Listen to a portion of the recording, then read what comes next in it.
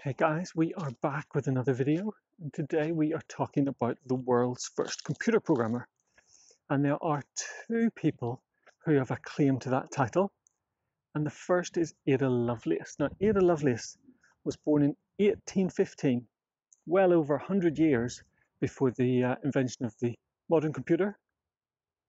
So why is she considered the world's first computer programmer? She worked with uh, Charles Babbage's machine. So Charles Babbage had created a mechanical computing device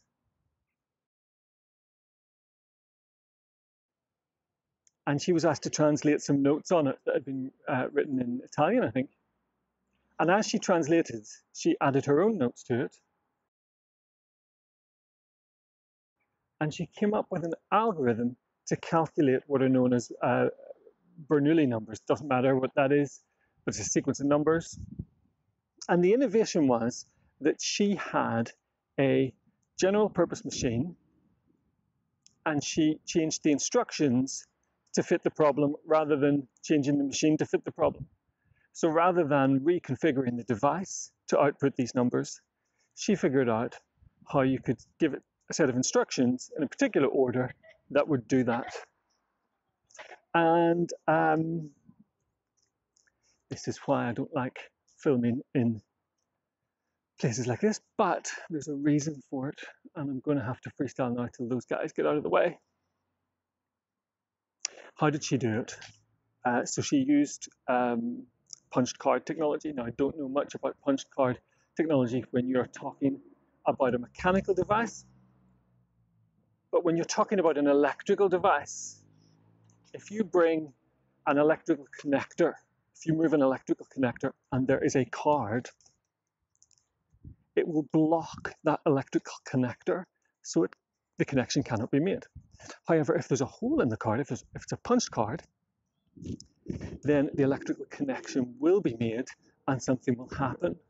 And it's going to be similar with uh, the mechanical device and she got her inspiration from looms. And the reason we are here is because this was a center for the linen industry. And our timing is going to be all wrong here. Now, that was going to be so good, but uh, we will make do. We might even have a cut here.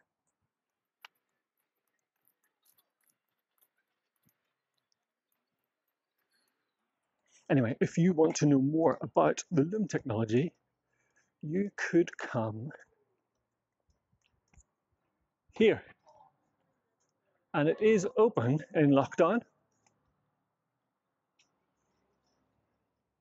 The Framework Knitters Museum will teach you all about loom technology.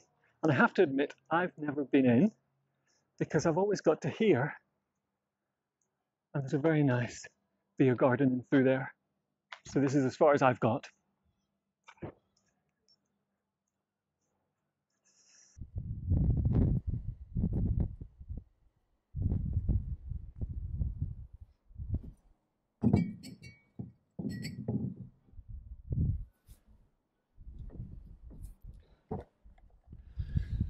Now, the looms were programmed to produce different patterns on material using a punched card type technology. And that's where Ada Lovelace got her inspiration.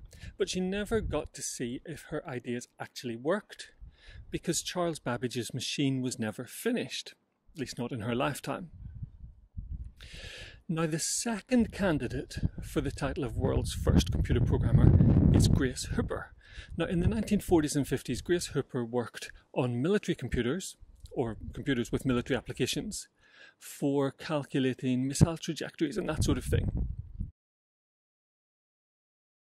And at the time, what they would do is they would create physical connections among a number of different logic gates and enter in signals to those logic gates the signals would work their way through whatever connections they had set up, and then the output, output would appear at the other end. And that's how they programmed the machine by physically connecting up these logic gates. That was their way of programming it essentially, but what they were really doing was changing the instruction set of the computer. And Grace Hopper realized that if they set up a general purpose set of connections, so if they give the computer one instruction set, they could change what the computer does by changing the order of the instructions that the computer was given rather than having to reconfigure the device every single time. And that was the way that they programmed this machine. And very quickly after that, she realized that they were using the same batches, the same order of these instructions, which again were on punched cards, over and over and over again. So what they did was they got together a bunch of cards that did a particular operation. I don't know, let's say factorize. So they got a bunch of cards to factor that would factorize any number, and they put those together somehow. Would there have been elastic bands back then? I don't know. But anyway, however you collect together a bunch of cards, they collected together these bunch of cards and wrote on the front, factorize. And they did that with all the uh, operations that would come up repeatedly. Then to write a program, they would, on a, on a blackboard, instead of writing out all the instructions they would have to do, they would just write factorize. And then when they got to that bit in the program, they would get the factorized batch of cards and feed it into the machine. And that's how programming languages work today. So you don't program in instructions, you program in these high level commands, and then the operating system converts those high level commands into the instructions that get executed. And Grace Hooper essentially and her team were, were doing the job of an operating system, the, the job that an operating system would do today. Grace Hopper went on to write a program that would automatically do this, and she created what's known as the world's first compiler. So a compiler is a piece of software that takes a programming language source code and turns it into, uh, into instructions. And there we have it. So that's Ada Lovelace and Grace Hooper. One of them can be considered the world's first computer programmer. Sorry about the noise, there's a lot of work going on over there. If you like these videos, subscribe down here somewhere, and I will see you on the next one.